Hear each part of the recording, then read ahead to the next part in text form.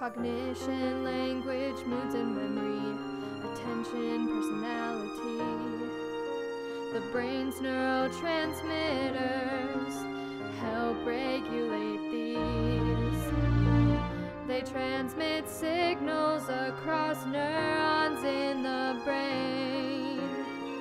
Small molecule kinds we will explain. The first group is excitatory, they stimulate the brain specifically.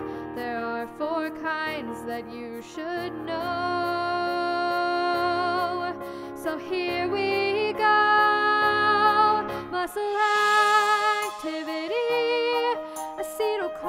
also control sleep. Fight or flight, fight or flight.